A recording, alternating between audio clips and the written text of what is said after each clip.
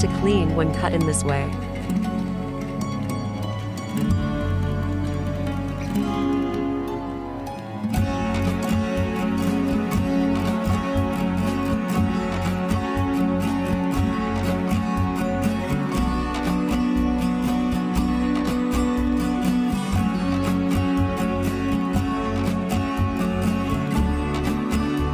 As you can see, it sliced very nicely.